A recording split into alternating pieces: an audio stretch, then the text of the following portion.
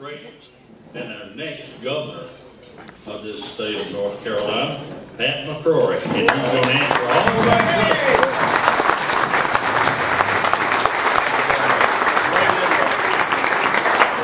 That's the best introduction I've had all year. you know, y'all have given me such a warm welcome since I just walked in the door and came into Asheville uh, just a few minutes ago. But one of the most unique comments I got, and I got to let you know what this comment was while walking around the tables um, right before I came up to the podium. One individual in the audience, he shall remain nameless. I'm at him. He said, You know, there's only one thing I've ever disliked about you, Pat. And I said, What's that? He said, Well, you remind me of my ex wife's ex husband.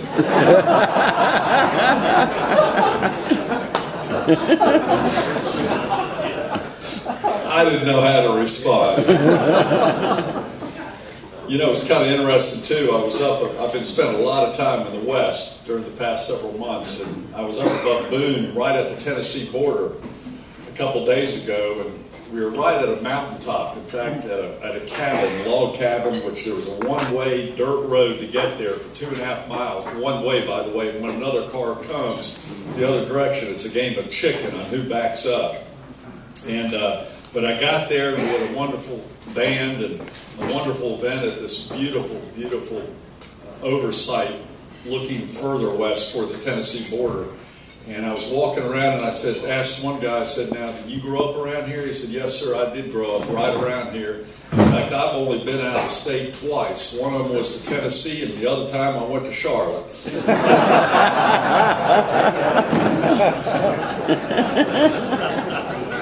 So I'm collecting these quotes throughout the campaign trail, I'm enjoying. I've got two of the best ones in the West. Um, listen, these are very, very serious times. In fact, just a few minutes ago, the new unemployment statistics came out for the state of North Carolina. And I'm sad to report that our unemployment is still the fourth highest in the nation. The fourth highest in the nation. And in fact, we are now at the state in which we have the 40th straight month in which our unemployment rate is over 9% in the state of North Carolina. The 40th straight month in which our unemployment rate is over 9% in the state of North Carolina. The only states we're beating right now in unemployment figures is Rhode Island, Nevada, and California. That's it. This is not the North Carolina that I remember growing up. As I grew up in Jamestown, North Carolina, went to college in Salisbury, North Carolina, got a job in Charlotte, and became a leader.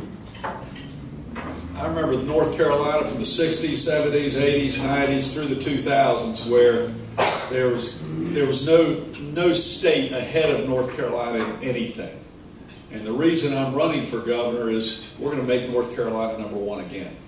And it's not going to be an unemployment, it's going to be unemployment. But and, and I come from business. I've been a business person for 30 years. And I'm proud of my business background. And I think there's an attack on business right now from the Washington and out of Raleigh. And we need to become more business friendly in North Carolina. And one thing I try to do is I try to pick the brains of people who've succeeded in business, both small and large companies. And I remember several years ago, I met a top CEO of one of the top 10 companies in the United States of America. And I asked him the following question, and it was a very direct question. I said, Why has your company moved from number one to number two against your competition during the last two years? And he said, Mayor, that's a great question. Let me tell you what happened to us. Inside our headquarters, we were all turned inward, depending that our brand would survive the ups and downs of the economy. And we're going to live off of our brand. And in the meantime, we're going to turn inward and worry about who gets what office, who gets what title, who gets what promotions, who gets the blame, who gets the credit. And we have all these internal turf battles within our company. And while we were turned inward talking to each other, our customer was leaving us, and we didn't even know it. I don't care what business you're in, if you turn your back to the customer, the customer will leave you, or your competition will take your customer. And I've never forgotten that story because I think it reflects on what's happened in North Carolina government and leadership during the past decade. Under the leadership, especially of the executive branch during the past decade. And that is this I think inside the Beltline in Raleigh, we've had the current leadership, the past leadership for the past decade, turn inward and basically living off the great brand of North Carolina and assuming that brand would carry us forever. While there were internal bickerings of Republicans against Democrats, the House against the Senate, the legislature against the governor, and it seems as though everyone against small and large business alike. In fact, during that time, they increased the income tax, they increased the gas tax, they increased the sales tax, they increased the corporate tax. And what was happening while they were all turned inward, bragging about how great North Carolina is, and it is great. The problem was other states were changing and recognizing we're going to take action toward North Carolina. We're going to try to beat them in economic development. They were showing leadership, and that's been happening during the past three years. You know, I meet with Governor Christie of New Jersey. He came in in 2009, and by the way, when you meet Governor Christie, he's everything you see. but you know, he made a commitment when he got elected is listen, New Jersey is falling off of a cliff right now. Our unemployment's too high, business is leaving to other states, and we need we have far too high taxes. He cut the tax rate. He started communicating to businesses, seeing what they needed, and he cut some of the bureaucracy and had more efficient government. And guess what? Right now, we have a higher unemployment rate than New Jersey, right here in North Carolina. Surely, if they can do it in New Jersey, we can do it in North Carolina. I'm being very upfront with you. This is our competition across the United States and across the world. Nikki Haley in South Carolina. I meet with Nikki Haley. And right now they have beat North Carolina in several big economic development battles for new companies coming to North Carolina. And here, North Carolina and the current governor and the past governor give all this upfront cash, begging a company to come to North Carolina, while South Carolina has a long term economic development plan, primarily having lower corporate taxes and lower income taxes, which companies can look at the long term value over 10 or 20 or 30 years. And guess who, where the companies are going right now? Go, they can go right across the border to South Carolina. And that can impact Wilmington to Charlotte to Asheville. Or they can go right over to Tennessee where Bill Haslam, good friend of mine, former, former mayor of Knoxville, Tennessee, is now governor. And I'm telling you right now, they're trying to do everything they can to build a business base, and that includes stealing customers from right across the border in North Carolina. I know this as a mayor because during my 14 years as mayor of Charlotte, I looked at what my competition was doing, and my goal was to beat the competition, especially in job creation. And you don't just beat them by taking business from elsewhere. The way you beat them is to work with your existing customers and get them to grow. You know that as a small business person. You spend more time getting your current customer to grow your business, their business, as opposed to getting new customers. You do both, but you don't uh, you don't avoid your existing customer or take them for granted or turn your back to them. And I think that's what we've done in North Carolina government. Bobby Jindal in Louisiana right now, 39 year old governor. When he got elected, he said, I'm going to end this corruption in Louisiana politics. We're embarrassed about being the butt, butt of jokes about the corruption in Louisiana. We know those jokes in Louisiana, right? In a short four years, and he was just reelected with over 80% of the vote. Louisiana is no longer known for corruption in state government. In fact, they're becoming a very tough economic development recruiter in Louisiana. Surely, if they can do it in Louisiana, we can do it in North Carolina. Because North Carolina has so much to offer, from the mountains to the Piedmont to the coast. We have unlimited resources that we have to unleash, but it takes a governor to show the vision and strategy to get there on how we're going to unleash those resources and how we're going to put North Carolina back to work again. We've had that in the past among both Republican and Democratic lawyer, uh, governors in the past. But we have not had it in the past decade. And now, more than anything, I think it's going to take an outsider to come into Raleigh and shake things up, cut through the bureaucracy, cut down on the waste, look at our corporate income taxes, and how we can make North Carolina more business friendly is going to be crucial to our economic survival here in this state. And let me just tell you a few of the things I want to do as your next governor. And it's going to be a battle between now and November to make that happen. The first thing we need to do is get North Carolina into the energy business. We've wasted at least four to five years sitting on the sidelines while other states look for gas exploration and oil exploration. While Pennsylvania, New York, Ohio, the Dakotas, and even Virginia is looking on how we can do exploration both offshore and inland to create jobs, but to also participate in the energy independence of our country. And you in Asheville know more than ever, when there's a gas crisis, you get hit first with high gas prices and long lines. I've been in your lines. I've seen the gas prices up there. When the line's disturbed coming up from Louisiana, you get hit first. We ought to participate in the energy independence of our country right here in North Carolina and create jobs. And right now, our current governor and, yes, lieutenant governor have sat on the sidelines on that issue, formed committees, formed commissions. It's time for action. Action which allows both exploration, but also action at the same time in which you have good environmental and regulation, ensure we know how the money is going to be spent, and we do it safely and wisely.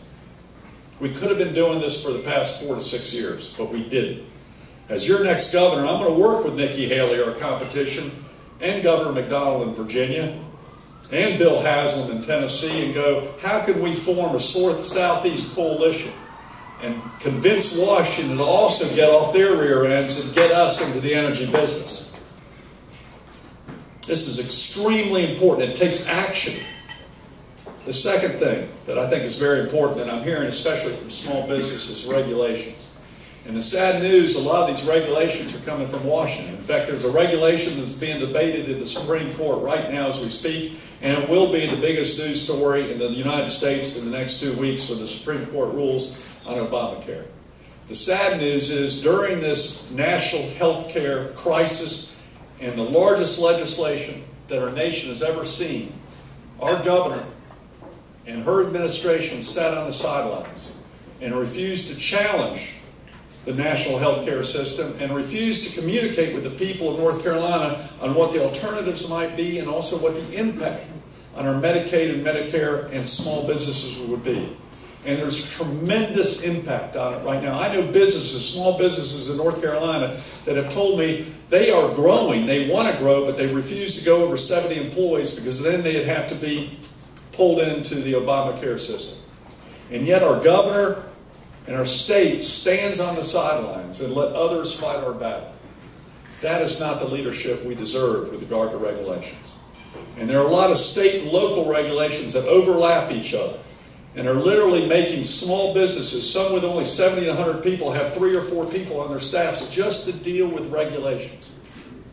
We need a serious effort coming out of state government to go, what are the regulations that make sense? What are the regulations that we have on our books that are just creating work for government? And which ones are going to have long term impact on the future of North Carolina's economy?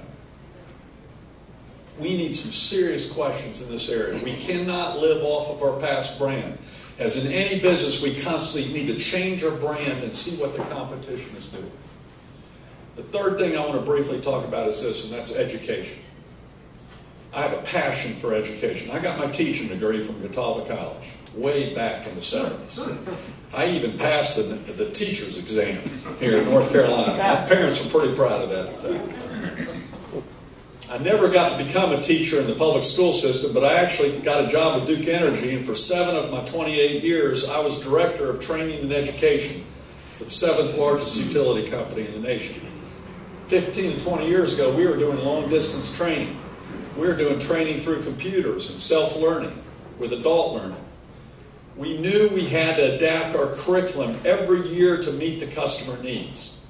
The dilemma we're having right now in education is we're again living on the past brand of our universities, of our K through 12, and of our community colleges. All brands which have been good, but the fact of the matter is they're falling behind.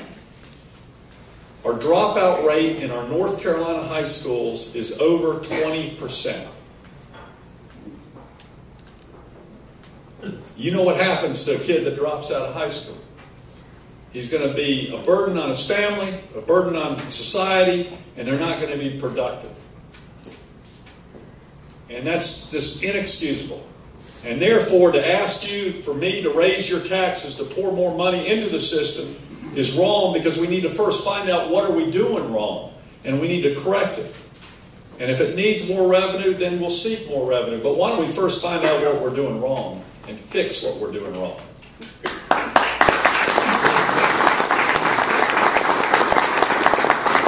Same thing with our university system. Our university system, the costs are going up 7 to 8% a year when the rate of inflation is 2 to 3% at most. And yet, for the past decade, the costs keep going up and up and up. And yet, feedback from employers that I get throughout the state are, is this is that when we get many of the graduates, they're not qualified and they don't have the skills needed to meet our needs. We have remedial training in reading and writing and math in K through 12, in our community colleges, and our university system. You know, one thing I learned in business, you fix the problem at the front end so you don't have to repeat and spend more money at the back end. And yet we're spending all this money all the way through the process, K through 18, and putting people through remedial reading and math and other courses. You fix it at the beginning as opposed to pour all the money in at the end. And in the long run, then we all save money and we have a better education system. There's one thing else I'm passionate about with regard to education. And I apologize if I offend any of the room because this may be politically incorrect. But it's time that we have straight talk with people in North Carolina. And that is this I think there are two pathways to success for someone graduating from high school. The first pathway is to take a four-year college curriculum courses so you can get one of our great universities or small colleges throughout North Carolina. We have a lot of choices. And that's a, that's a pathway that I took when graduating from Ragsdale High School in 1974. But I think there's another pathway to success, and that is the trade and vocational route. One of the biggest pieces of feedback I get are two things. One is employers are saying we cannot find the mechanics and electricians and people can fix things and repair things and innovate things because the 50 and 60 year olds are retiring and we can't find the 20 and 30 year olds to fill those jobs, even with an unemployment rate of 9.4%. We can't find them here in North Carolina. And yet there are people with that type of talent, which I respect because it's talent I don't have. My wife reminds me of that all the time. but it's a talent I respect. So, therefore, I think we're forcing a lot of kids who have this talent into a curriculum and into kind of an elitist mentality that the only pathway to success is to go get a four year college degree. I hear this from the president, I've heard this from our governor. I disagree. I think there are two pathways to success, and both of them are important to our future economy here in North Carolina. We've got to respect both pathways, and we will all benefit, and I think we'll reduce the dropout rate in North Carolina if we don't put all this pressure and making someone, you know, wonder if at Ragsdale High School someone would have made me take auto mechanic courses in order to graduate. I would have had a tough time. My dad was an engineer, and he always said, "Are you sure you're my son? You cannot fix fix mechanically. I, I don't have that mechanical aptitude." I respect that attitude, and it's desperately needed. And I want to help those people get those skills and get them jobs and get them into our two year, what we used to call tech schools, to get it done, to meet industry needs. This is the way we need to think out of the box with regards to education. We cannot live off of our past brand, whether it's in our K through 12, our community colleges, or our universities. We're going to have to constantly change. Part of the reason is because there is no new money out there, and the other reason is our competition is changing. And I'm not going to lose to our competition. The last thing I want to briefly talk about is our tax system in North Carolina. One thing I've told you before in my 14 years as a mayor, I look at what others are doing to recruit and retain jobs. And the fact of the matter is, our tax system is well over 40 years old. It hasn't been taking bits and pieces out of it, but there's no strategic plan which interacts with what our long-term goals are in North Carolina employment. And I have a bias in employment. I firmly believe that not only our nation's economy, but also our state's economy, if it's going to be sustainable long term, we must have a bias toward those people that produce things, those people that make things, those people that grow things, and those people that innovate things. Because if we continue to make things as opposed to just buy things, then those industries grow and they provide money for the service industry, the travel and tourism industry, and also government workers and teachers and police and fire.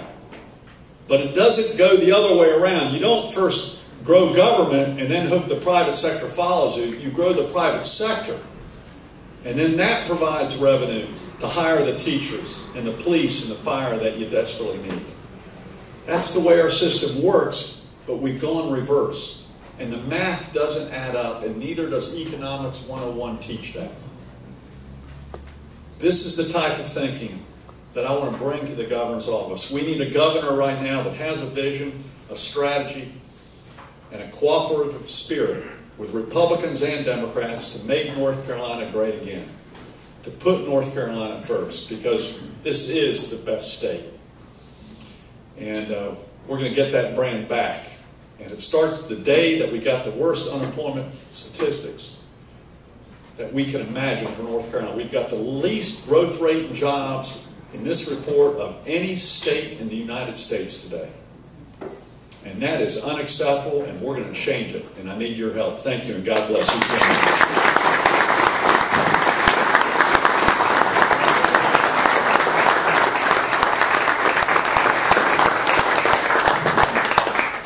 Be glad to take uh, any questions you might have, except for the one person who said I remind him of his ex-wife's ex-husband's. Marc? Mayor McCrory, uh, Marc Hunt, Asheville City Council, we met on your way in. Thank you so much for coming here and speaking with us and being with us. Thank you for your service to the community too. City council, there's no place to hide as a city council. I did it, I did it for six years, so uh, thank you I will not service. disagree. Uh, I'd like to ask about uh, some views you might have about municipalities. Sure. Reflecting on your time as mayor of Charlotte, I know you appreciate the special challenges that municipalities have. North Carolina, more than most states, uh, have municipalities that rely on Raleigh to establish what the latitude for municipal uh, uh, affairs can be legislatively. And uh, Asheville has a particularly unique history and situation. We're a regional capital. We've got some great economic opportunity. We're challenged by some, some history and so on. But if you will, will you reflect on uh, challenges that municipalities face in dealing with Raleigh? What, what your administration would view as, as initiatives that could help municipalities, and to the extent you got any reflection on Asheville's unique situation, please share that with us too. Thank you so much. That's a great question. I could spend two hours on that, and I won't. But uh, the first question is you've got to have, the first comment, the basics, you've got to have communications between the governor's office and mayors and county commissioners and school board members. And see what's, because they're the closest to the grassroots and to the customer than anybody.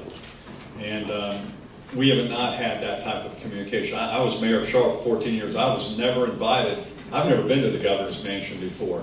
I hear there's a nice one here too. Uh, look forward to seeing and being invited sometime. I've never been to the one in Raleigh either. But um, the first thing we need to have is communications and dialogue, as opposed to treating each other as enemies. We need to treat each other as partners. The second thing I think it's very important for the next governor to do is one of the your main jobs is to provide the infrastructure you have water and sewer, and you have streets, and you have airports, and other needs that you must fulfill. I think we need to have a better integration into what your city's infrastructure plan and how that correlates with what the state's infrastructure partnership will be with you.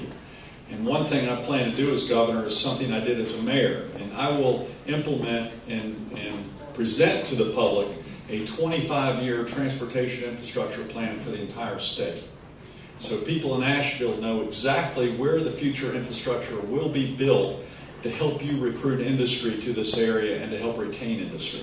And then the cities will also know where their integration of your local and city roads will be with other transportation needs. And right now, there is no transportation vision for the state or infrastructure vision for the state, uh, tying in the urban areas to the rural areas, tying in the mountains to the Piedmont, tying it into the coast, into the ports even tying it into our competitive states, which we have to think about because interstate commerce is extremely important.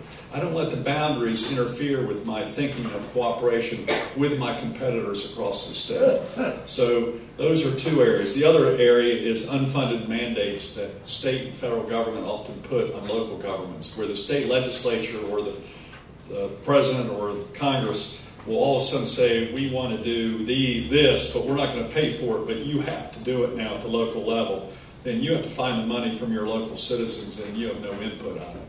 And I know unfunded mandates and regulations and accepting federal money, but with all these strings attached that the federal government puts on it, a lot of times when you accept federal money, you uh, end up costing you more than you get. In fact, I'm very proud of the legislature today just passed, let overrode governor's veto on a uh, effort that the community colleges actually asked for permission to get to refuse federal money if it's going to cost them more to accept it. The governor vetoed it. The legislature overrode that veto yesterday or today.